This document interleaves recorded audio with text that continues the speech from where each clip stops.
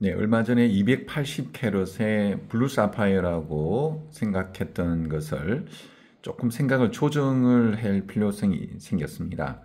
어, 이 부분에 대한 경도는 확실하게 10이 나오는데요.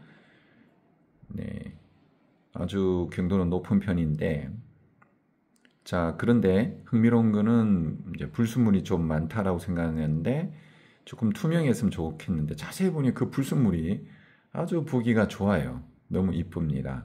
211캐럿으로 이렇게 결달해가지고 그냥 어, 옥처럼 가공을 했습니다. 완벽하게 컷을 한 게 아니고 네, 산화 알루미늄 그 광택으로 해가지고 한 거라서 이제 다이아몬드 광약으로 해가 하면은 더욱더 광이 날 겁니다. 자 그런데 흥미로운 거는 자세히 보니까 이거는 blue 사파이어도 아니고 사파이어도 아니고 그런 놈도 아니고 옥도 아니고 오팔의 느낌도 있고 그리고 다이아몬드 경도도 나오고 하니까 네 가지를 다 겸비한 새로운 보석 같아 보여서 이름을 무엇이라고 불러야 될까 고민 중입니다. 옛날에 우리 그 예전에 그 옷 그 가을에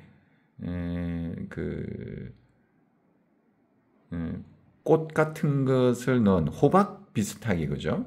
호박 비슷하게 안에 들어가 있으면서 곤충 대신에 이제 꽃들이 들어가 있는 느낌 네, 그런 느낌도 일부 좀 받고 있는데요. 예, 실제 이것은 그렇습니다. 211 캐럿입니다.